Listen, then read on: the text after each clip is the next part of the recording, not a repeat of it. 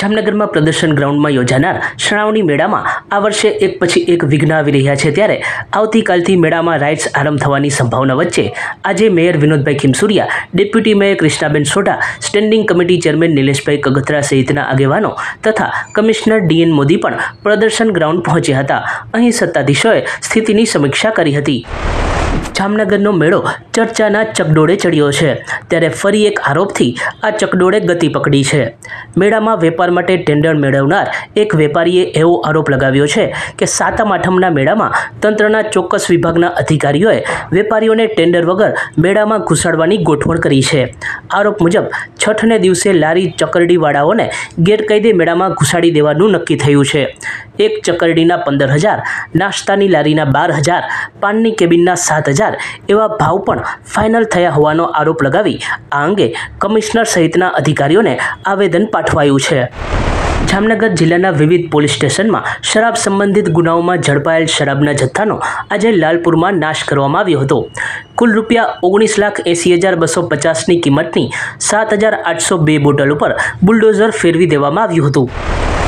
ઉત્તરાખંડના રુદ્રપ્રયાગના શ્રી તુંગનાથ મહાદેવ મંદિરથી ગુજરાતના શ્રી સોમનાથ જ્યોતિર્લિંગ મંદિર સુધીની હરેલા યાત્રાનું રુદ્રાક્ષના વૃક્ષ સાથે જામનગરના શ્રી બાલા હનુમાન મંદિરે આગમન થયું હતું.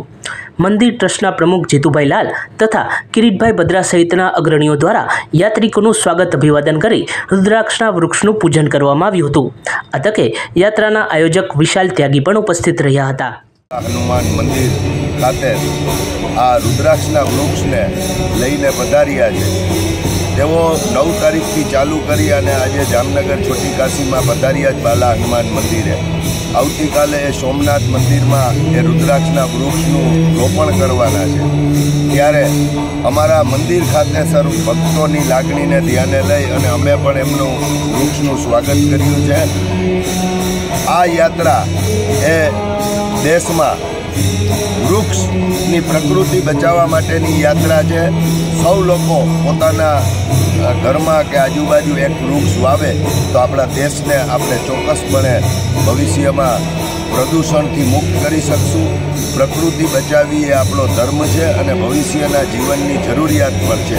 એટલે હું પણ વિનંતી કરું છું અને યાત્રામાં વિશાલભાઈ ત્યાગી અને એમના સર્વ એમના મહંતશ્રી અને સૌ સાથી મિત્રોને હું શુભેચ્છા પાઠવું છું કે આપનો આ વિચાર છે એ દેશ હિત ખાતર એ કેન્દ્ર સરકારને આપની રજૂઆત છે એ સફળ થાય અને દેશમાં એક હરિયાલી પ્રાપ્ત થાય એવી બાલા હનુમાન ભગવાનને પ્રાર્થના.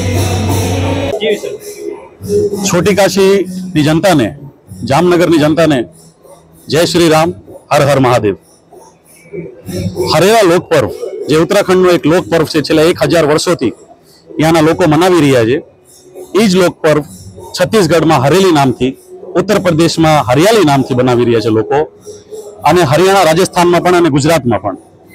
અમારી એક કેન્દ્ર સરકારને રજૂઆત છે, એક માંગણી છે કે આ લોક પર્વને રાષ્ટ્રીય પર્વ બનાવવાની અમારી માંગણી છે.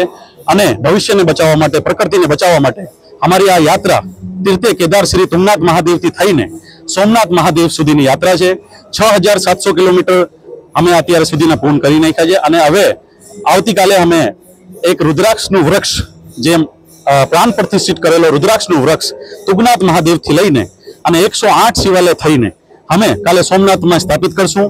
અને મારે, મારી જે માંગણી છે અને મારી એક રિક્વેસ્ટ છે બધાને જામનગરની જનતાને આખા હિન્દુસ્તાનને કે આપણે પ્રકૃતિને બચાવવા માટે. અત્યારે તમે જુઓ તો પંચાવન ડિગ્રી સુધી ટેમ્પરેચર આપણું પહોંચી ગયું છે. ગ્લોબલ વોર્મિંગને એક અત્યારે ચેલેન્જ તરીકે બધા લઈ રહ્યા છે. પાણી બચાવવા માટે અભિયાન ચાલી રહ્યું છે. આપણા સદગુરુ શ્રી સેવ સોઇલનો એક બહુ મોટું પ્રોજેક્ટ બનાવ્યું બહુ મોટી યાત્રા કાઢી. એ જ પ્રમાણે કે આપણે અત્યારે પ્રકૃતિમાં ધ્યાન ન દઈએ તો આવનાર સમય અમારા માટે બહુ તકલીફ રહેશે. હું બધાને એ જ હાથ જોડીને વિનંતી કરું છું કે પ્રકૃતિને બચાવો, ભવિષ્યને બચાવો અને હરેલા યાત્રાને એક લોક પર્વને એક રાષ્ટ્રીય પર્વ ઘોષિત કર્યો સચોટ સમાચારો સૌથી ઝડપી મેળવવા માટે અમારી ચેનલને સબસ્ક્રાઇબ કરો.